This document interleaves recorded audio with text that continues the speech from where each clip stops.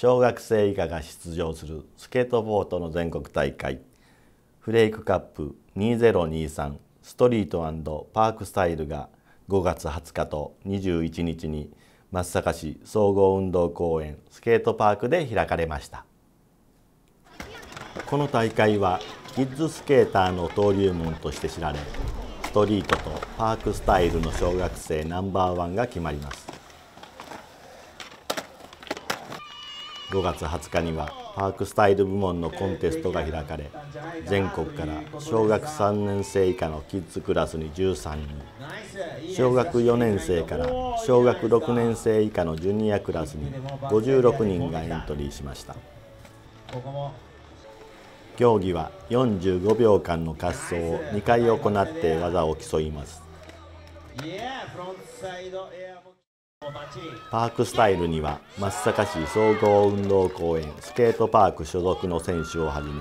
松阪市出身の選手がエントリーしていました。選手たちは練習の成果を発揮しようと果敢に難しい技に挑戦していました。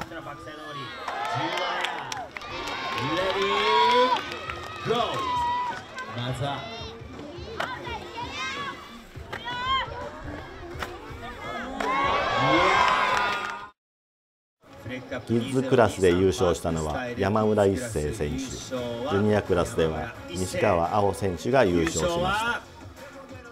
西川青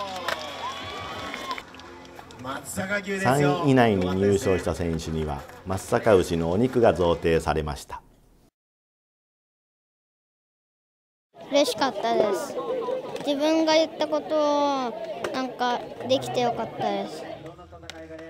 ここのフレークカップとかでジュニアだったら上手い人たちと戦ってなんか1位とか取りたいです。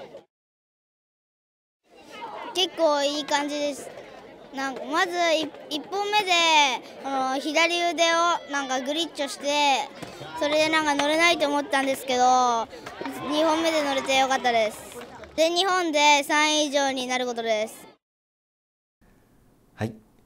優勝された皆さんおめでとうございます。